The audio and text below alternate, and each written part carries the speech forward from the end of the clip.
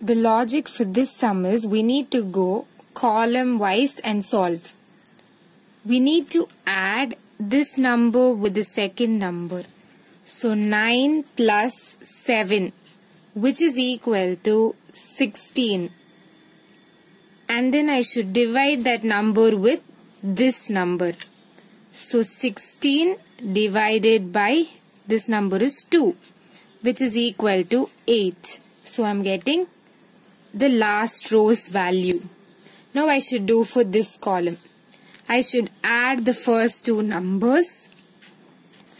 15 plus 30 is equal to 45 and then I should divide by this number but over here there is question mark so I'm going to take the question mark as x so 45 divided by x is equal to I'll get the answer as the last row's number so it is 5 so I should write 5 so 45 by x is equal to 5 therefore 45 is equal to 5x.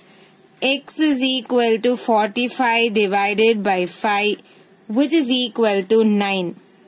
So therefore x is equal to 9 is the answer. So in the place of question mark I should write 9.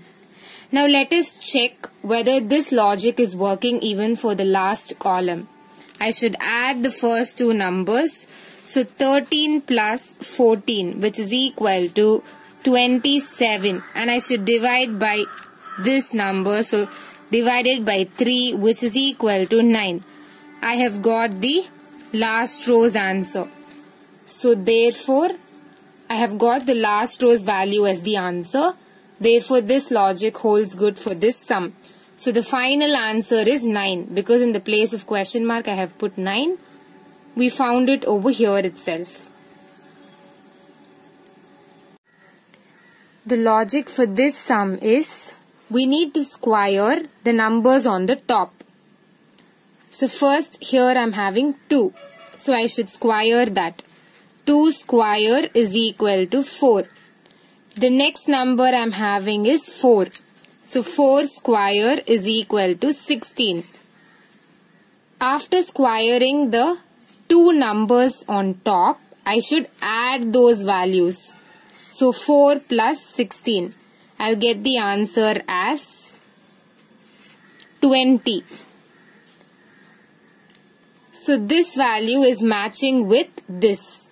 So this logic is holding good for this first figure. Now let us solve using the same logic for the second figure. I should square the numbers on top. Over here I'm having 3. So 3 square is equal to 9. Next I'm having 9. So 9 square is equal to 81. Now I need to add these two values. So I'll be getting 90. So this value is matching with this. So therefore this logic is perfectly correct for this sum. Now let us solve and find the answer. For the third figure, the two numbers on top is 1 and 7. So I should square them and write. So 1 square is equal to 1 and then 7 square is equal to 49 which is equal to 50. I should add these two so I'll get 50. So therefore in the place of question mark I should write 50. The answer is 50. Answer is equal to 50. So this is logic for this sum.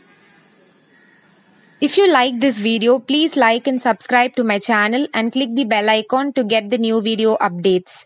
And please don't forget to share it with your friends. It may be very helpful for them. Thank you.